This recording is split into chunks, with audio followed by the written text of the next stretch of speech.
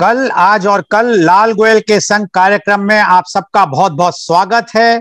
यह कार्यक्रम V four news global TV V four stream news गाँव से संवाद सरोकार news organ donation India foundation एवं ज्ञान द्वारा सीधा प्रसारित किया जा रहा है। कार्यक्रम कल, आज और कल लाल गोयल के संग में हमारा प्रयास रहता है कि हम उन विभूतियों को आपके सामने प्रस्तुत करें जिन्होंने अपने जीवन में काफ़ी ऊंचाइयों को छुआ है। और आज जो जो विशिष्ट अतिथि हमारे साथ हैं वो बहुत ही उनकी जीव, जीव, जीवन उनका इतना ऊंचाइयों तक गया है कि अगर मैं उनका वर्णन करूँ तो मैं सोचता हूँ कि आधा घंटा भी बहुत कम पड़ेगा। मैं परिचय कराना चाहूँगा और उनका बहुत बहुत स्वागत करूँगा। वो हैं पद्म श्री मोहन स्वरूप भाटिया जी। आपका बहुत बहुत स्वागत है भाटिया जी हमारे कार्यक्रम कल आज और कल लाल गोयल के साथ संग में। पद्म श्री मोहन स्वरूप भाटिया जी बहुत ही जाने पहचाने पत्रकार रहे हैं अपने समय में। आप महासचिव हैं Gyan Deep Shiksha Bharti senior secondary school Mathura के। आपने पत्रकारिता अपने बचपन से ही विद्यार्थी जीवन से ही आपको काफ़ी रुचि रही। 1955 में 20 वर्ष की आयु में कॉलेज पत्रिका में आपने लेख प्रकाशित किया पत्रकार और पत्रकारिता। सन 1956 में देश के सर्वोच्च साहित्यिक पत्र धर्मयुग के 11 नवंबर 1956 के अंक में दो रंगीन चित्रों के साथ यम द्वितीय लेख आपका प्रकाशित हुआ। आपने साप्ताहिक नई लहर तथा ब्रज दर्शन का बखूबी संपादन किया। आप संवाददाता, जिला संवाददाता रहे, समाचार भारती, पीटीआई भाषा, आकाशवाणी, दूरदर्शन दिल्ली, लखनऊ, गोरखपुर के। आप मथुरा रेडियो स्टेशन से भी कई वर्षों तक जब से वो शुरू हुआ था, जुड़े रहे और बहुत ही प्रमुख भूमिका आपने उसमें निभाई। आप सैनिक विकासशील भारत, स्वराज टाइम्स, आज और ब्लिट्स जैसे प्रसिद्ध अखबारों के भी को और मैगजीनों को भी आपने रिप्रेजेंट किया। उनमें लेख लिखे, उनमें समाचार भेजे। उत्तर प्रदेश शासन द्वारा माता टीला, रिहंद, करबी आदि बांधों के निरीक्षण के लिए आयोजित प्रेस टूर में आप मध्य रेलवे द्वारा महाराष्ट्र क्षेत्र में आयोजित प्रेस टूर में पत्रकार प्रतिनिधि के रूप में सब जगह आप सम्मिलित हुए। विशिष्ट व्यक्तियों से जिनसे आपने इंटरव्यू लिया, साक्षात्कार किया, उनमें कुछ मुख्य नाम मैं दे सकता हूँ। वो हैं Vijay Lakshmi Pandit ji, Aruna Asif Ali ji B P Singh, Acharya Narendra Dev film अभिनेत्री वनमाला, दिलीप कुमार जी, राष्ट्रपति आर वेंकट रमन ज्ञानी जैल सिंह जी, जो भूतपूर्व राष्ट्रपति हैं विजय लक्ष्मी पंडित जी, एवं श्री अटल बिहारी वाजपेयी जी, हमारे भूतपूर्व प्रधानमंत्री। आप 31 वर्षों तक मासिक पत्रिका कारणी कलाप के संपादक रहे। आपने Canada, America, Mauritius, Nepal, Thailand, Tanzania आदि देशों की यात्रा की और वहाँ से समाचारों को प्रेषित करके प्रकाशित करवाया। आप ब्रज भाषा, ब्रज साहित्य, ब्रज संस्कृति एवं शस्त्र पत्रकारिता क्षेत्र में आपने इतना विशेष योगदान दिया कि महामहिम राष्ट्रपति द्वारा आप पद्मश्री से सम्मानित किए गए। उत्तर प्रदेश के राज्यपाल माननीय श्री राम नायक तथा मुख्यमंत्री श्री योगी आदित्यनाथ द्वारा भी आपका हार्दिक अभिनंदन किया गया। आपको विभिन्न संस्थाओं द्वारा बहुत सम्मान दिया गया। कुछ जो विशिष्ट हैं, उनके बारे में मैं उल्लेख करूँगा। उत्तर प्रदेश हिंदी संस्थान द्वारा एक लाख रुपए की राशि सहित लोक भूषण सम्मान आपको दिया गया। ब्रज कला केंद्र दिल्ली द्वारा ब्रज विभूति। हिंदी साहित्य सम्मेलन द्वारा साहित्य महामहोपाध्याय। ब्रज भाषा विभूषण, ब्रज रत्न, ब्रज भाषा साहित्य साधना सम्मान। भारतीय शिरोमणि संपादक शिरोमणि, पत्रकार रत्न, हिंदी साहित्य सम्मान, समाज रत्न, शिक्षा रत्न, शिक्षा भूषण आदि सम्मानों से आपको सम्मानित किया गया। आपको इंदिरा गांधी नेशनल अवार्ड दिया गया। लाल बहादुर शास्त्री सम्मान दिया गया। अवंतिका सम्मान आदि 500 से अधिक आपको सम्मान दिए गए। साहित्य, संस्कृति क्षेत्र में ब्रज लोकगीत, ब्रज लोक कथा, ब्रज लोक संस्कृति आदि सामग्री का संकलन आपने किया तथा देश के प्रमुख पत्र पत्र पत्रिकाओं में उनका लगातार अनवरत प्रकाशन करवाया। ब्रज के चरकुला नृत्य, फलैन, फालैन की होली, बछैन के हुरंगे आदि पर्वों को प्रथम बार राष्ट्रीय एवं अंतरराष्ट्रीय, नेशनल एंड इंटरनेशनल आपने उसको ख्याति प्राप्त कराई। उसका, उसके बारे में लोगों को अवगत कराया। और इसका पूरा श्रेय एकमात्र आप ही को जाता है, जो उसके बारे में काफ़ी उस वक्त चर्चा हुई प्रमुख प्रमुख पत्र पत्रिकाओं में। ब्रज के सांस्कृतिक कार्यक्रमों का देश के प्रमुख मंचों पर आपने प्रस्तुतिकरण किया। काले जी कृति रंग महल का, आकाशवाणी का, को प्रसारण मंचन एवं प्रकाशन आपने किया। हास्य व्यंग कृति हँसते चलिए का आपने प्रकाशन किया। आपने पत्रकार सम्मेलन पत्रकारिता, विषयक संगोष्ठी आदि समारोह में आप राष्ट्रीय स्तर पे मुख्य अतिथि अथा अध्यक्ष के रूप में आप आए। आपका परिचय इतना लंबा है, मैं कहाँ तक और पढ़ूं? लेकिन क्योंकि हम हम उनके मुँह से ही सुनना चाहेंगे तो पुनः एक बार आपका बहुत बहुत स्वागत है। मोहन स्वरूप भाटिया जी, पद्मश्री मोहन स्वरूप भाटिया जी, हमारे कार्यक्रम कल आज और कल लाल गोयल के संग में। आपके बारे में आप पे तो एक खुली किताब रहे हैं और आपकी ख्याति मथुरा वृंदावन क्षेत्र में ही नहीं, मैं तो सोचता हूँ पूरे भारत और भारत के अलावा कई देश विदेशों में रही है।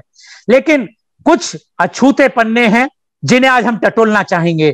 हम जानना चाहेंगे आप कहाँ पैदा हुए, आपका बचपन कहाँ बीता, आपकी प्रारंभिक शिक्षा कहाँ हुई और कुछ उसके वहाँ के जो संस्मरण है, उसे आप बताएँ। पद्मश्री मोहन स्वरूप भाटिया जी। बहुत बहुत धन्यवाद लाल गोयल जी। आपने तो बहुत कुछ अतिशोक्तिपूर्ण कह दिया। मेरा जन्म राधा कृष्ण की जन्मभूमि लीला भूमि ब्रज के केंद्र मथुरा में हुआ। कल 9 जून 1935 को मैं छियासी वर्ष 86 इयर्स का होकर मैं मैं आपको मैं आपको बहुत बहुत बधाई अपनी और अपने सब दर्शकों की ओर से कल आज और कल लाल गोयल के संघ के सब दर्शकों की ओर से आपको बहुत बहुत बधाई देना चाहूँगा। एक दिन बाद हम कर रहे हैं प्रोग्राम लेकिन वह बधाइयाँ जन्मदिन तो आपको पता है कि हमारे ब्रज में जन्मदिन तो चलता ही रहता है। हाँ हाँ भाटिया जी। तो अब मैं आज सतासी वर्ष 87 ईयर का हूँ। और एक रोचक बात जुड़ी हुई है इससे। मेरा जन्म हुआ उन, 9 जून 1935 को और मेरी एक जनपत्री एक दैनिक समाचार पत्र के मालिक थे। उन्होंने अपनी चंडीगढ़ के एक बहुत प्रसिद्ध ज्योतिषी से बनवाई थी। मेरी उनसे मित्रता थी तो उन्होंने मेरी जनपत्री भी बनवा दी। उस जनपत्री में मेरी आयु बहत्तर वर्ष यानी सेवेंटी टू ईयर्स लिखी थी। जब सेवेंटी टू ईयर्स पूरे होने को हुए तो मैंने लोगों से हल्की सी चर्चा कर दी कि मेरा अंतिम समय आ गया है और मैंने उस हिसाब से अपनी तैयारी भी कर ली। देह दान कर दिया एस एन मेडिकल कॉलेज में रजिस्ट्रेशन करा दिया कि मेरे निधन के बाद मेरी देह दान कर दी जाएगी लेकिन बेहतर वर्ष के बाद भी वो क्रम आज तक चल रहा है। इस बीच में मेरे एक बहुत ही परम श्रद्धे संत प्रवर हैं स्वामी गुरुशरणानंद जी महाराज। उनको किसी ने ये बात बता दी। तो उन्होंने एक दिन मुझसे कहा, मोहन, ये हम क्या सुन रहे हैं? मैं नहीं समझा कि महाराज जी ने क्या सुना है। मैंने हाथ जोड़कर उनकी ओर झुका दिए। फिर उन्होंने कहा कि अच्छा कहो, कितनी उम्र बढ़ा दें? तो मैं समझा कि बात महाराज जी तक पहुँच गई। मैंने फिर नतमस्तक कर दिया। तो अब मुझे नहीं पता कि मेरी आयु कितनी बढ़ चुकी है। जो महाराज जी ने बढ़ा दी, उस आयु को मैं जी रहा हूँ। मेरे बचपन के जो एक बाल्यकाल में बच्चे को ज़्यादा तो कुछ पता होता नहीं। पिताजी मेरे स्वतंत्रता सेनानी थे, श्री गिरधर लाल जी भाटिया। तो जब मैं लगभग पाँच वर्ष का हुआ, आज तो तीन वर्ष के बच्चे को एडमिशन के लिए एलकेजी में ले जाते हैं। तब पाँच वर्ष से कम का बच्चा नहीं जाता था। वो मुझे स्कूल में आजकल कहते हैं, एडमिशन वो उस समय कहा जाता था, भर्ती कराने ले जाएगा बच्चे को। तो मेरे थैले में एक पट्टी थी, एक बुदक्का था और एक कलम थी। आज की पीढ़ी नहीं जानती। पट्टी थी एक लकड़ी की, जिस पर आ, बड़ा, छोटा छोटे, ये सब लिखे जाते थे। या गिनती लिखी जाती थी, एक, दो, तीन, वन, टू, थ्री नहीं। और एक बुदक्का था, बुदक्के का अर्थ ये कि एक छोटा सा कुल्लड़ जैसा, जिसका ऊपर का मुँह छोटा, नीचे बड़ा, उसमें खड़िया डाली जाती थी। और एक होता था कलम, वो होती थी नेजे की, यानी सरकंडे की। कोई सेट नहीं, बत्ती नहीं, पेन नहीं, पेंसिल नहीं, कॉपी नहीं। तो पिताजी मुझको हाथ पकड़कर पास के एक स्कूल में ले गए। गली में प्रवेश करते ही एक जीना था, उसमें ऊपर गए। नीचे किसी मकान मालिक का अपना आँगन था और ऊपर तीन कमरों में बच्चे बैठकर पढ़ रहे थे, ये मुझे आज भी ध्यान है। और उस क्लास में एक मास्टर थे, जो धोती, कुर्ता और सिर पर टोपी लगाए हुए थे।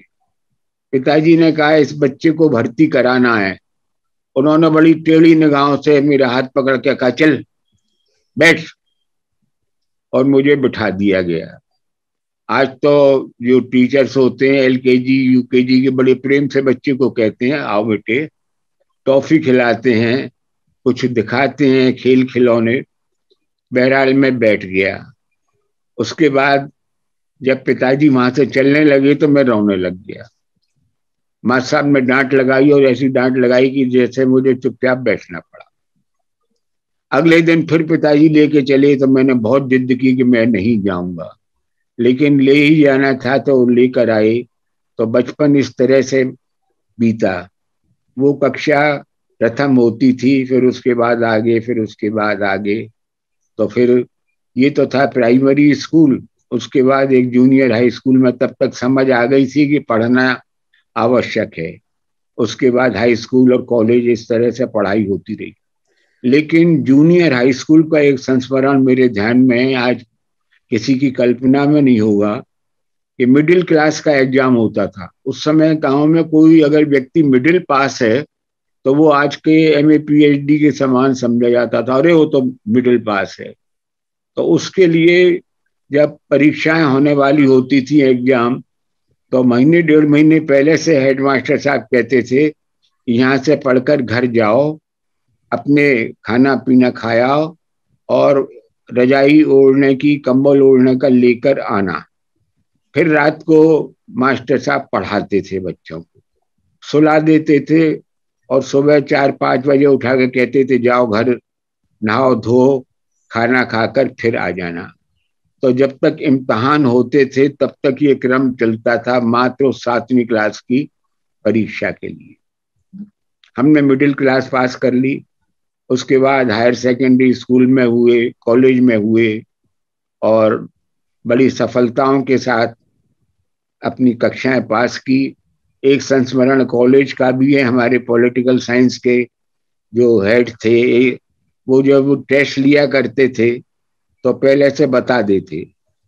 एक दिन वो अचानक आई और टेस्ट लेने लग गई। जो उन्होंने विषय दिया, उसमें मैं बिल्कुल निल था, मुझे कोई जानकारी नहीं थी।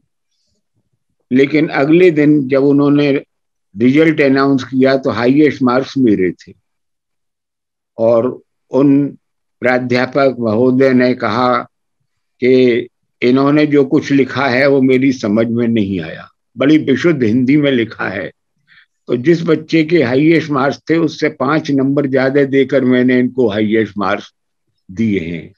भाटिया जी कौन से कॉलेज का संस्मरण है? या कौन से कॉलेज से आपने किया था? रमन डिग्री कॉलेज का।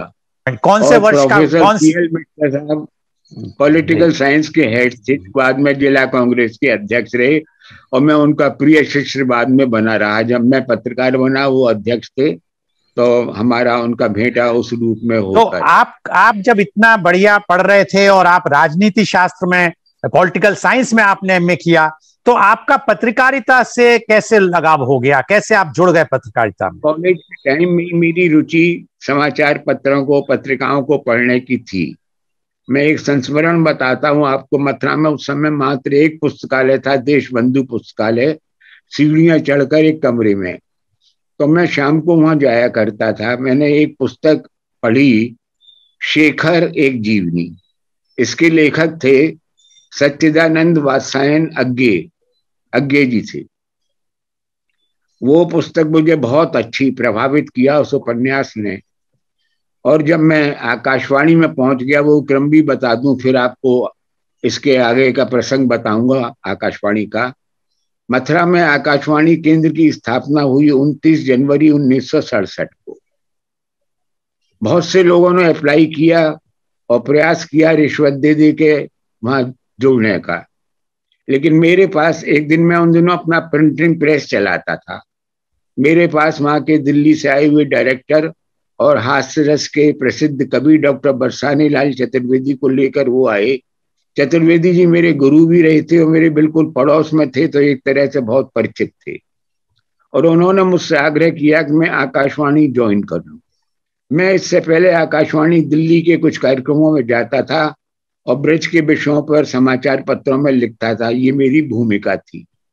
मैंने उनसे कहा, मैं अपना प्रिंटिंग प्रेस चला रहा हूँ। कैसे नौकरी करूँगा और नौकरी मेरे संस्कार में नहीं है। मेरा आपको संक्षिप्त में बताता हूँ, किसी तरह से उन्होंने मुझसे हाँ करा ली कि आप प्रेस खोलते हैं, दस बजे, आठ बजे खोल लिया करिए, चार बजे बंद करके और आकाशवाणी आ जाइए और हमारा कार्यक्रम कर दिया करिए। तो 29 जनवरी को पहले दिन, उन्नीस सौ सड़सठ को, मैं राम ये कार्यक्रम था, ग्राम गोष्ठी किसान भाइयों के लिए। उसमें मेरी भूमिका थी भैया जी की। और उसका प्रारंभ मैं करता था सब सुनने वाले भैया को राम राम। और चौपाल पर जो लोग उस समय बहुत कम रेडियो थे तो एक रेडियो पर सौ, दो सौ गाँव वाले इकट्ठे हो जाते थे। और वो वहीं से कहते, राम राम जी, राम राम। वो इस तरह बोलते थे जैसे उनकी आवाज़ आकाशवाणी पर मेरे पास पहुँच जाएगी। तो वहाँ मैंने बाल गोपाल, चंदा मामा, पत्रों के उत्तर, बहुत से कार्यक्रम किए। उसमें मेरी भूमिका होती थी भैया जी की। तो मेरा नाम मोहन स्वरूप भाटिया में लोग कहते या तो भाटिया जी कहते या मोहन स्वरूप भी कहते ये सब भूल कर वो एक नाम मुझे लेने लगे, भैया जी। और आज मेरी ख्याति भैया जी के ही रूप में है। आज भी मुझे वही कहा जाता है। आकाशवाणी से जुड़ा तो कुछ और ऊंचाइयों पर पहुँचा। आकाशवाणी और दूरदर्शन के कार्यक्रम, जैसे श्री कृष्ण जन्माष्टमी पर जन्मभूमि से और द्वारकाधीश से आँखों देखा हाल रनिंग कमेंट्री सुनाई जाती थी। वो मुझे सुनाने का अवसर मिला और रंगीली गली बरसाना से बरसाने की होली का। उन दिनों मेरे लेख विशेष रूप से होली के और कृष्ण जन्म के समाचार पत्र पत्रिकाएँ जो देश के प्रमुख थे, उसमें प्रकाशित होने लगे थे और मैंने ब्रज की होली को बहुत ऊंचाइयों पर दर्शकों तक, पाठकों तक पहुँचाया। चरकुला नृत्य आज तो केवल देश में नहीं विदेशों तक पहुँच गया है। लेकिन उस समय चरकुला को कोई नहीं जानता था अपने गाँव की लोकगीत संग्रह की यात्रा में। भाटिया जी मैं मैं आपको यहाँ रोकना चाहूँगा। थोड़ा सा दर्शकों को बता दें कि चरकुला नृत्य जो होता है जिसमें एक नृत्य की कितने सारे दियो को रख के जरा बताएँगे आप जरा भाटिया जी चरकुला नृत्य क्या होता है? विवरण बताता हूँ। जी। चरकुला एक लोहे का गोलाई वाला यंत्र सा है, जिसमें कड़ियों पर दीपक रखने की जगह होती है। और लगभग सौ दीपक, किसी के में चरकुला में अस्सी हो, किसी के एक सौ आठ हो, लगभग सौ दीपक रहते हैं। और गाँव की जो कुशल नृत्यांगनाएँ होती हैं, जैसे एक है, उसने किसी दूसरी को सिखाया, तीसरी को लेकिन कुछ बहुत निपुण होती हैं, कुछ कम निपुण होती हैं। वो चरकुला लेकर गाँव की थान पर जाती हैं। थान का मतलब कोई जो निधन का कोई स्थल रहा हो किसी का, और फिर वहाँ पर पूजा करके आती हैं और नृत्य करती हैं और उनके साथ में एक बहुत बड़ा ढोल होता है, जिसे बम्ब कहा जाता है। उस पर कुछ वादक और गायक कलाकार होते हैं। और उस पर वो लोग उस नृत्यांगना को बधाई भी देते हैं, जुग जुग जियो गोरी नाचन हारी। और बधाई में क्या होता है कि नाचन हारी के द्वैदे हो जो। मतलब दो दो संतान हो। एक मुकदम, एक पटवारी। मुकदम और पटवारी गाँव का उस समय बहुत बड़ा पद होता था। मुकदम और पटवारी, नाचन हारी के द्वैदे हो जो। मुकदम और पटवारी जुग जुग जियो गोरी नाचन हारी। इस प्रकार वो गीत चलता रहता है, चरकुला होता है। तो मैंने जब उसको चरकुला को देखा, उस समय तक चरकुला के विषय में कोई नहीं जानता था। मुझे पर्यटन विभाग ने होली मेला का संयोजक बनाया था। तो जन्मभूमि पर कार्यक्रम था। मेरे मन में हुआ कि चरकुला का मैं यहाँ प्रदर्शन कराऊं। मैं जन्मभूमि के कार्यक्रम के लिए परासौली और मुखराई ये गाँव है, वहाँ गया तो मुखराई गाँव का चरकुला बहुत प्रसिद्ध था। मैंने वहाँ संपर्क किया तो वहाँ की जो नृत्यांगनाएँ थी और उनके घर वाले थे कि हमारी औरतें कोई रंडी बेड़नी नहीं है जो शहर में नाचने जाएँ। हम नहीं जाएँगे। महिलाओं ने कहा हमारे जेठ जी रहते हैं हमारे ये रहते हैं वो रहते हैं वो हमको देखेंगे तो क्या है। लेकिन एक स्वामी जी थे जिन्होंने मुझे हाँ कर दी थी। और फिर ये लोग जब नहीं पहुँचे मैं आया तो एक तरफ़ बल्लम फरसा लेके लोग खड़े थे एक तरफ़ लाठियाँ। एक दल कह रहा था कि हमने वायदा किया है जाइए। और एक दल कह रहा था, था कि नहीं हमारी महिलाएँ नहीं जाएँगी। बहरहाल स्वामी जी के कहने से किसी तरह से वो लोग आए। और वहाँ मथुरा के जिलाधिकारी बड़े बड़े सम्रांत लोग थे उनका हमने अच्छा स्वागत जलपान भोजन से किया। तो वो सब लोग बड़े प्रसन्न होकर गए। उसके बाद लखनऊ का एक कार्यक्रम आया सूचना संस्कृति विभाग का। तो मैंने उनसे कहा वहाँ तुम्हारे ससुर जेठ कोई नहीं होंगे तो वो चले। इसके बाद से तो अपना उस समय उनकी धूम मची और विदेशों की लाइन लग गई। ये लाइन लग गई कि बहुत से दल हो गए और इनके बड़े नखरे हो गए। और नखरे क्या कि हम तो एक लाख लेंगे और दो लाख लेंगे। बहरहाल आज चरकोला एक व्यावसायिक मंच बन गया है और ब्रज के नाम से उसकी ख्याति है। तो, तो जो आप आपने जो शुरुआत कराई एक छोटे से नृत्य को आज आपने इतनी ऊंचाइयों तक पहुँचाया मैं नहीं सोचता कि आपने कभी कल्पना में भी सोचा होगा कि ये नृत्य इतना बड़ा होके इतना बड़ा व्यवसाय बन जाएगा। अब मुझे और जी जी जी, जी। नहीं मैं चाहूँगा मैं अब अब अब मैं अब चाहूँगा आपसे ये पूछना कि आपने इतने सक्सेसफुल आप पत्रकार थे और इतना आप सब कला और साहित्य के लिए कर रहे थे तो आपके मन में स्कूल को एक स्थापित करना और आज जो स्कूल जो आपका ज्ञानदीप स्कूल है जो कि मथुरा में ही नहीं बल्कि आसपास के क्षेत्रों में भी बहुत एक ख्याति पा वाला स्कूल है इतना नम, नाम उसने कमाया है इतना बड़ा स्कूल है और जिसकी जो अच्छा एक स्टैंडर्ड का स्कूल माना जाता है वो आपके मन में कैसे विचार आया कि आप स्कूल को शुरू करें? वो भी मैं बताता हूँ एक प्रसंग बीच में चरकुला के साथ जुड़ा हुआ वो बताता जी संक्षिप्त में। एक गाँव में मैंने पाँच जनवरी उन्नीस सौ इक्यासी को एक नृत्य देखा था एक ऐसा नृत्य जो संसार में संभव नहीं है किसी के द्वारा होना, अपवाद छोड़ दीजिए। और मथुरा के लोग, ब्रज के लोग उस नृत्य के संबंध में उसकी ए बी सी डी भी नहीं जानते। किसी को नहीं पता वो नृत्य। मैंने अपनी आँखों से देखा। एक महिला, हल। हल जो होता है, किसान जो खेत में चलाता है, इस तरह का, उस हल को दांतों में दबाकर, घूंघट काटकर और दोनों हाथ छोड़कर यदि नृत्य करें तो आपको विश्वास होगा कि क्या ये संभव है। हम एक पेन आधा मिनट नहीं रख सकते सीधा इस तरह से। किसी को विश्वास नहीं होगा, लेकिन मेरे पास उसका एक चित्र है। बहुत स्पष्ट तो नहीं है, लेकिन उसका एक एनलार्जमेंट मैंने करा रखा है, बड़ा चित्र है। वो नृत्यांगना अब नहीं रही। उसने आगे प्रशिक्षित नहीं किया किसी को अपनी तरह से वरना चरकुला से भी अधिक ख्याति उसकी होती वो एक चमत्कारी नृत्य था। जी। अब मैंने समाचार पत्रों में देश के कोई समाचार पत्र नहीं बताया जिसमें ब्रज की होली बरसाने की होली जाब बटैन का औरंगा फालैन की होली जिसमें पंडा जलती हुई लपकों में से निकलता है इन सब होलियों को जन जन तक पहुँचाया। ये पहले नहीं देश जानता था इन होलियों को। कभी बस इतने नाम सुने थे कि बरसाने की होली लेकिन दाऊ जी का औरंगा फाल है तो ये सब मैंने खूब प्रसिद्धि इनको प्रसाद की। अब आपका प्रश्न था कि शिक्षा संस्था का कैसे हुआ? मैं एक शिक्षा संस्था से जुड़ा हुआ था और मैंने 29 वर्ष की आयु में नेहरू जी के निधन के बाद बाल दिवस समारोह वहाँ किया था तीन दिन का कार्यक्रम। वैसा कार्यक्रम आज तक मथुरा में नहीं हुआ, जबकि वो कक्षा पाँच तक का किराए के भवन में चलने वाला एक स्कूल था। उस स्कूल का मैं प्रबंधक था। बाद में किसी एक बात पर मेरा उनका मतभेद हो गया और विवेक बुद्धि उस समय ज़्यादा नहीं थी। मैंने संकल्प लिया कि हम एक दूसरा स्कूल खोलेंगे। एक छोटी सी किराए की जगह में, जिसमें प्लेग्राउंड के नाम पे एक छोटी सी जगह थी मंच के नाम पर एक बरामदा था, कुछ कमरे थे, किसी में रोशनी आती थी, किसी में नहीं। लेकिन मेरी बहन थी, वो संगीत में बहुत प्रसिद्ध, ख्याति प्राप्त थी, बड़ी होशियार थी। उन्होंने बच्चों को कृष्णलीलाएँ तैयार की और हम दो बार नेपाल ले गए बच्चों को। उस समय तक कक्षा पाँच के बच्चों का कोई एजुकेशनल टूर नहीं जाता था। नेपाल दो बार गए और वहाँ के राष्ट्रीय सभागार गृह में हमारे बच्चों का कार्यक्रम हुआ, एक संस्था की ओर से।